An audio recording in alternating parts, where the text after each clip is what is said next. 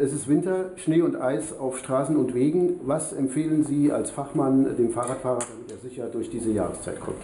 Also als erstes eine funktionierende gute Beleuchtung.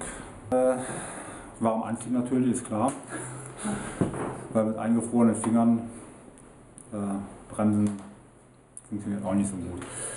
Und was bei Glatteis eine gute Idee ist, ein guter Winterreifen. Da gibt es ja Also jetzt nimmt er auf. Du zeigst das so ein bisschen, genau, die Spikes.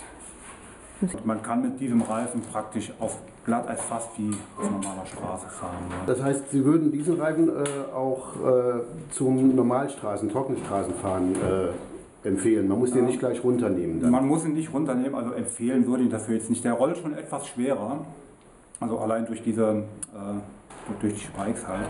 Und die, ähm, die können auch verloren gehen. Ja. Aber für den Winter die erste Wahl, Für den Winter wäre es eigentlich die erste Wahl. beste Also, Sicherheit.